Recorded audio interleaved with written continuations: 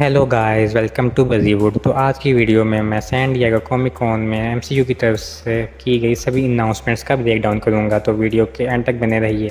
Video शुरू करते हैं। सो so फ्रेंड्स तो शुरुआत ही करते हैं। सबसे पहले Captain America brave new world की कुछ कन्फर्मेशंस के बारे में, जिसका हाँ पता है कॉमिक कॉन के पैनल से पहले ही फैंस के सामने ट्रेलर को ला कर रख दिया गया था और ऐसी ही same situation Agatha all alone की भी थी। जिसमें डेडपुल वर्सेस वुल्वरीन के फाइनल ट्रेलर को कौन भूल सकता है?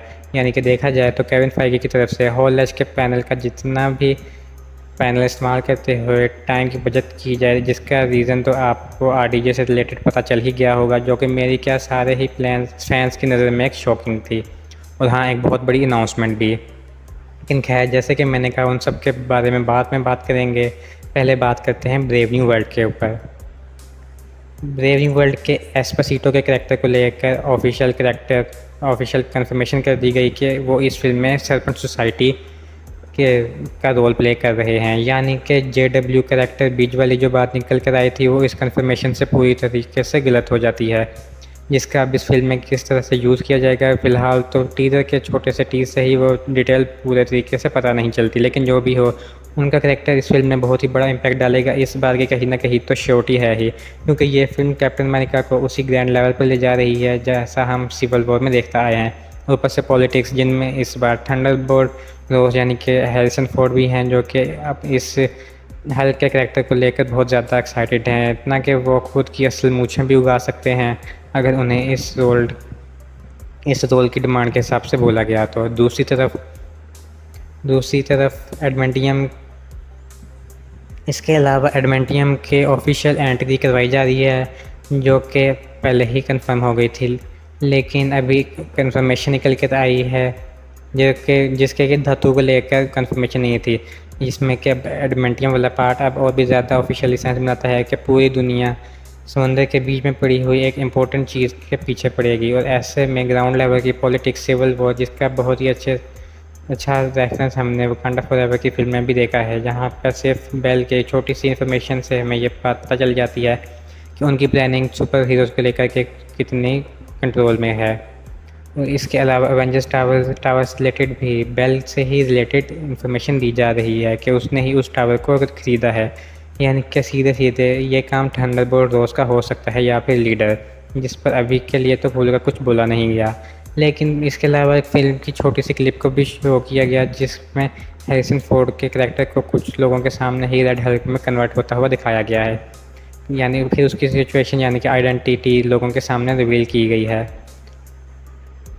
अब थंडर की बात की जाए तो इसकी डिटेल तो मैं पहले ही दे चुका हूँ, लेकिन तो अगर इस टीज़र की बात की जाए तो रियलिना का जो प्लान था जिससे कि मिलकर वो यही कहती है कि उसे पता चल गया है कि उसे अब अपनी लाइफ में किस तरीके से आगे बढ़ना है, जो रास्ता असल में लोगों को मारने का है, जिसमें उसको काफ़ी ज़्यादा मज़ा भी आता है। और हाँ इसी के साथ साथ इस टेलर में रेड गार्डियन अपने सूट के साथ भी दिखाई देता है, या या कहें कि अपग्रेड सूट में, जो कि फ़िलहाल तो फ़िल्म के बाहर इतना अच्छा भी नहीं नज़र आ रहा। लेकिन हाँ फिर से टीज़र पे आ जाएँ तो सभी थंडर की टीम को मिशन दिया जाता है कि एक डेडली मिशन जहाँ पहुँचने के बाद उन्हें पता चलता है कि उन्हें फंसाया गया है। लेकिन अब क्वेश्चन यही है कि किस चीज़ में जो फिर इंफॉर्मेशन हम फ़िलहाल तो प्रोवाइड नहीं की गई। उस सभी के बीच में लूएस भी थे जिनके करेक्टर को लेकर फ़िलहाल तो सेंट्री की ही बात की जा रही है। तो जिस पर उनका कहना फ़िलहाल तो बस यही है कि उनके करेक्टर का नाम है बॉब जिसमें अगर, जिसे अगर कॉमिक बुक में भी देखा जाए तो रॉबर्ट बॉब रोनल्ड ये सभी नाम एक्टर आप कह सकते हो कि सेंट्री के करेक्टर के हैं। तो तो मतलब यहाँ पर क्लियरली हिंट भी दिया जा रहा है कि और कन्फर्मेशन के लिए थोड़ा वेट करना पड़ेगा। तो मुझे लगता है थोड़ा सही रहेगा। अब बात करें फंटेस्टिक फोर की तो इस फ़िल्म की फिल्मिंग से रिलेटेड ट्यूसडे का ही दिया गया है, जिस दिन इस फ़िल्म की फिल्मिंग शुरू होगी। और इसी के साथ साथ टाइटल की बात करें तो official title fantastic four the first steps है। जी हाँ ये इसका ऑफिशियल टाइटल है, जो फ़िल्म के लिए कितना ज़्यादा इम्पोर्टेंट है, उस पर तो फ़िलहाल डिटेल में बात नहीं की गई। लेकिन फंटेस्टिक फोर की पूरी फैमिली आने वाली दोनों ही एवेंजर्स फ़िल्म में डेफिनेटली रिटर्न करेगी, ये तो ये बात तो कन्फर्म कर दी गई है। और इसी के साथ साथ ये फ़िल्म साठ के दशक के रेट्रो फ्यूचर को दिखाएगी, जिसकी एक झलक या कहें कि कॉन्सेप्ट आर्ट हॉल के पैनल में दिखाई गई। और साथ ही साथ गलेक्टस का लुक भी, जिसको कि क्लाउड ने नहीं, बल्कि कॉमिक बुक की ही तरह जॉइन दिखाया जाएगा। जिस चीज़ का फ़ैन भी बहुत बेसब्री की तरह इंतज़ार कर रहे हैं और इसके अलावा फ़िल्म इस फ़िल्म रिलेटेड ऑडिशन टेप और कुछ एक्टर का इसके बाद दोनों एवेंजर्स फ़िल्मों के टाइटल अनाउंस कर दिए गए, जिनमें से एक तो एवेंजर्स सीक्रेट वॉर थी और दूसरी सरप्राइजिंगली एवेंजर्स डूमडे है, यानी कैंग की डेस्टिनी ख़त्म हो गई है। अब बात करें इसके डायरेक्टर्स पर। तो रूसो ब्रदर्स की मोहर लगा दी गई है, जो बात फैंस के लिए बहुत ज़्यादा बढ़िया है।